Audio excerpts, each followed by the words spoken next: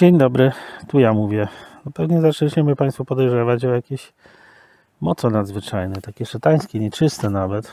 Wczoraj mieliśmy odcinek w takiej ponurej atmosferze pogodowej, naprawdę przygnębiająca jesienna deprecha, a dzisiaj, proszę Państwa, no ocean nade mną, niebo błękitne, praktycznie żadnej chmurki, słońce mi wali w dekiel tutaj, tą część, Mam nadzieję, że nie będzie miało to wielkiego wpływu na tok myślowy, na rozumowanie i logikę wypowiedzi, chociaż wiadomo, natury się nie przeskoczy, więc jakieś bzdury mogę gdzieś tam e, przypadkiem, bo nie jest moim celem nigdy opowiadanie Państwu bzdur, no ale ograniczenia intelektualne dotyczą każdego z nas, nawet wybitnego geniusza z biskupina największego hejtera w okolicy, powiecie, województwie, a może i to się rozciąga na cały kraj.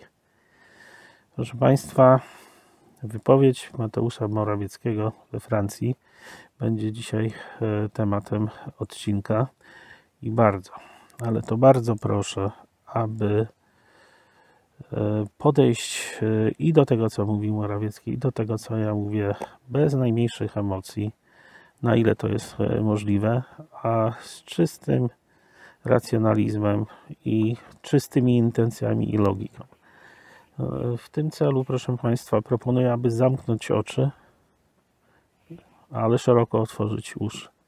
Wyobraźmy sobie, że jakiś polski polityk, stojąc obok francuskiego polityka Macrona, a Państwo wiecie, jak wyglądają jak się zachowują. E, no, francuscy politycy to mają e, szczególny, szczególny dar do takiej arogancji. Przecież mieliśmy tą słynną wypowiedź francuskiego polityka, który mówił o tym, że Polska nie skorzystała z prawa do milczenia. Wtedy nawet Miller, to jest bardzo istotne w, w kontekście dzisiejszej mojej pogawędki, Miller, czyli zasłużony towarzysz e, jeszcze z czasów egzekutywy i Komitetu Centralnego PZPR odgryzł się e, francuskiemu e, koledze i nie było wtedy mowy o żadnym pisaniu niekorzystnych artykułów przez prasę jamańską i w ogóle szeroko pojętą prasę zachodnią, co jest oczywiście, proszę Państwa, takim biczem, którym się smaga Polskę dość regularnie. Zatem zamknijmy oczy i wyobraźmy sobie, że jakiś polski polityk stojąc obok francuskiego prezydenta Macrona mówi mu niemal w twarz czy w oczy, że Unia Europejska postępuje w fatalny sposób z Polską, że w tej chwili są dwa kraje, które e, Unia Europejska objęła sankcjami. Jedna, jeden kraj to jest Rosja, ciągle radziecka, a drugi kraj e, to jest Polska. Proszę Państwa, nie wiem jak Państwo, ale ja się pod tymi słowami podpisuję rękoma i nogami. Bez względu na to, kto te słowa wypowiedział. Pamiętamy, że mamy zamknięte oczy. No ale co się dzieje, kiedy otworzymy oczy i zobaczymy, że te słowa wypowiedział e, Mateusz Morawiecki? Proszę Państwa, zaczyna się plemienna jazda e, polityczna, bo wszystko, co powie Morawiecki, to musi być e, wiadomo, że poddane największej krytyce, chociażby mówił o tym, że Ziemia jest okrągła. No to czy to każdego z, z tak zwanych kontrowersyjnych polityków, czy będzie to Tusk, czy będzie Biedroń, czy, czy Czarzasty, czy Kaczyński, e, czy Marek Suski, no to mniej więcej e, kryteria oceny przebiegają według tego, o to ten powiedział, to, to musi być głupie, to w ogóle z tym nie dyskutujmy, przekreślamy to. Proszę Państwa, ja jestem e, naiwnym wojownikiem e, w tym obszarze e, i od lat powtarzam, że mnie nie interesuje, kto mówi, ale interesuje mnie, oczywiście są sytuacje, w których jest bardzo ważne, kto, kto mówi e, i w jaki i kontekst, w jakim, w jakim to mówi. Ale jeśli chodzi o ten sam czysty przekaz, to co powiedział Morawiecki niemal wprost w twarz Macronowi, to proszę Państwa, we mnie się budzi naturalny instynkt. Instynkt obywatelski i narodowy, a mianowicie, no nareszcie, no nareszcie ktoś miał odwagę, nie gdzieś tam po jakichś gazetach niepokornych, czy, czy innych portalikach e, sponsorowanych przez e, no, Orlen, który już praktycznie chyba przejął całą gospodarkę w Polsce i i to on się zajmuje centralnie planowanym, pan Obajtek e, centralnie planowaną gospodarką w, w Polsce, ale miał odwagę to zrobić na arenie międzynarodowej. Co do samej treści wypowiedzi, proszę Państwa, bez względu na to, że powiedział to Marowiecki, a wszyscy wiedzą, co ja o tym panu sądzę, i umieszczam go jeszcze poniżej e, takiej politycznej klasyfikacji, gdzie Tusk jest troszeczkę wyżej od, od Marowieckiego, bo ten to przynajmniej jest szczery w swoich intencjach. On nie udaje, że chce cokolwiek dobrego dla Polski e, zrobić, nie używa e, wszystkich zniosłych, nie wyciera sobie twarzy wszystkimi zwiastymi hasłami w przeciwieństwie do ucznia Tuska Marowieckiego. No to to, proszę Państwa, sama treść jest treścią, e, to są moje słowa, bo to moje, moje przekonania i z tym nie zamierzam w żaden sposób walczyć. To jest jedna kwestia. Reakcja tak zwanej opozycji na te słowa, e, czyli uchronienie tego bata, którym się smaga Polskę non-stop. Ktoś to nazywa pedagogiką wstydu, ktoś e, podsycaniem kompleksów e, narodowych, ktoś inny jeszcze brakiem asertywności i tak dalej, i tak dalej. Proszę Państwa, ja nie mogę tego słuchać, naprawdę. We mnie się wszystko gotuje, kiedy słyszę, że jakiś jeden osiołek z drugim osiołkiem kolejny raz używa tego argumentu, jaki to wstyd, bo pojechaliśmy do Francji i powiedzieliśmy to, to, co, to, co myślimy. Co o nas powie świat, co o nas powiedzą ludzie, co napisze zachodnia prasa i prasa na Jamajce. Proszę Państwa, to jest dulszczyzna w najgorszej postaci, ale to jest oczywiście celowy proces. To jest oczywiście celowy proces, aby budzić w Polakach takie przekonanie, że jesteśmy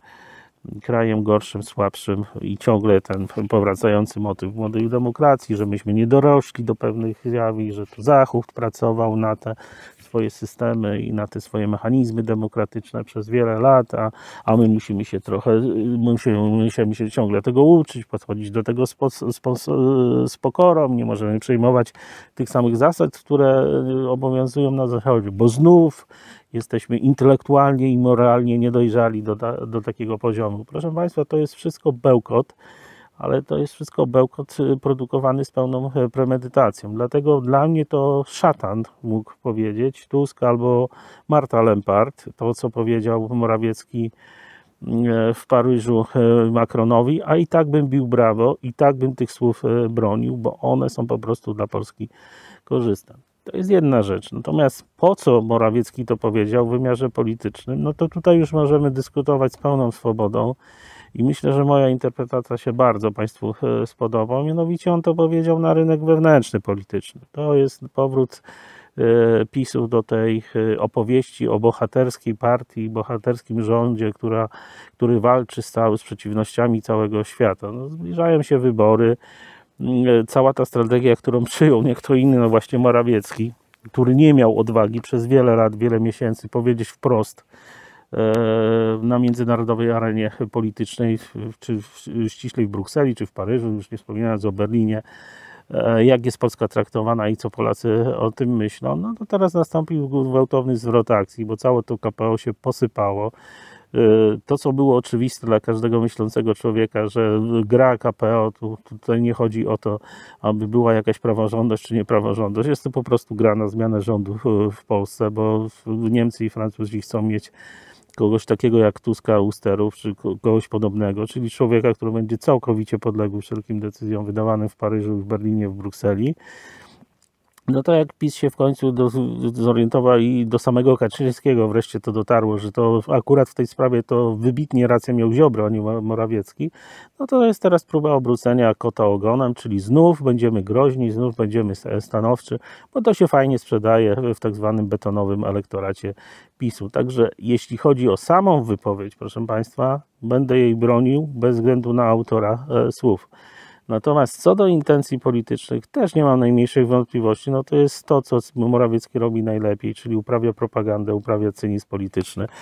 E, I w tym wszystkim, co on tam mówi, oczywiście e, jest takie założenie, że ma to posłużyć e, budowaniu kampanii wyborczej w Polsce, a nie jest jakimś realnym działaniem politycznym, bo tu to się, proszę Państwa, jak w przypadku większości tego typu deklaracji ze strony PiS, na gadaniu e, skończy, a za chwilę znów będzie próba powrotu do jakichś negocjacji, tylko że prawdopodobnie termin tych negocjacji przesunie się już na termin powyborczy. Proszę Państwa, nie wierzymy nikomu, nie wierzymy w nic, patrzymy na fakty i wyciągamy wnioski. Właśnie, patrzymy na fakty. Jeśli pojawiają się takie fakty, takie wypowiedzi, takie słowa, które służą Polsce, które służą nam wszystkim, pod którymi byśmy się podpisali, gdybyśmy mieli zamknięte oczy, nie widzieli, kto te słowa e, powtarza, no to trzeba tych słów, proszę Państwa, i tych postaw bronić. E, Jak to mówił klasyk, z obrzydzeniem, ale trzeba, e, e, trzeba bronić, bo to jest nasz interes, no, nasz interes na, narodowy, a nie zachowywać się już najbardziej idiotyczny z możliwych sposobów, czyli powtarzać te brednie, jakie powtarza tak zwana opozycja, e, idąca najbardziej prymitywnym schematem, tym właśnie schematem, tą ścieżką pedagogiki wstydu i budowania w- Polakach kompleksów.